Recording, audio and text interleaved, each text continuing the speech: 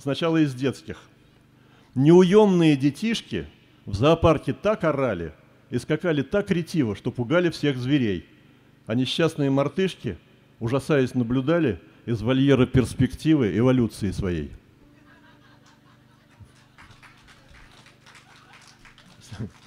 Сидит в трамвае на сиденье мальчик-крошка, болтает ножками, а рядом дед стоит. Ага, что, дедушка, болят, наверное, ножки? Ох да, внучок, не только ножки, все болит. Подумал дед, сейчас мне место уступая, хороший мальчик встанет. Только тот не встал.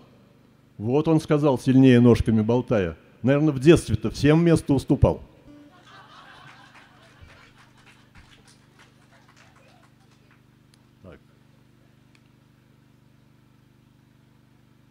Глеб старинный романс под гитару поет. Витя Пушкина в кресле читает стихи. Плавно в вальсе кружат Толя с Лидой вдвоем. Все красивы, опрятны, умны, не бухи. У рояля Сергей, на лице не тая выражение презрения к водке, к вину. Это что ж за идиллия?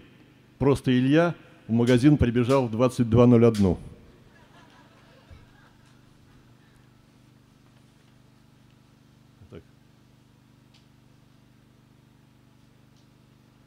Философ звонил, заболел, не беда. Стакан, но не чаю, не кофею, портвейна. И сможет учитель труда легко преподать философию.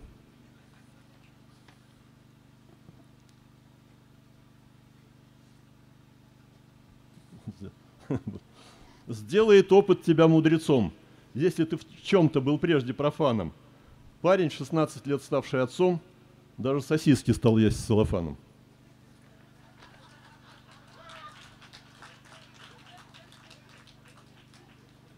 Мужику стакан, не более. И не помнит ни хрена. Бабе рюмку алкоголя. Все припомнит вам она.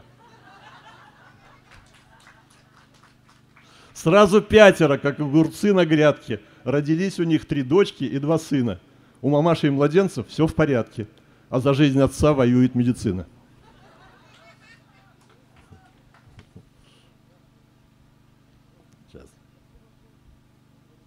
Старикашки, муж с женою после смерти в рай попали. Безмятежнее покоя они в жизни не видали. Красота вокруг такая, радость в сердце и на лицах. Светит солнышко лаская, на ветвях щебечут птицы. Аромат плывет жасмина, ветерок приятный веет. На жену взглянул мужчина, да как треснет ей по шее. «Вась, за что?» «Да вот за это! Кашку ели, соки пили. Если бы не твоя диета, мы бы уже целый год здесь жили».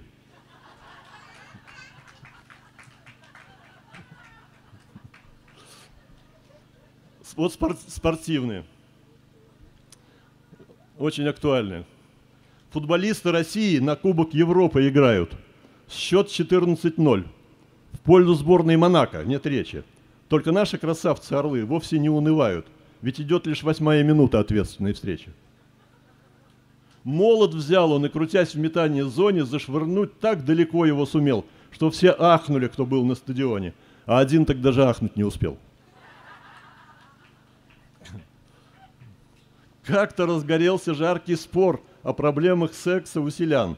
И спросили конюха в упор, ну а ты как думаешь, Иван? Ой, нужна мне эта ваша хренотень. Мне ваш секс как мерину очки. У меня 14 детей, мне не до теории, мужики.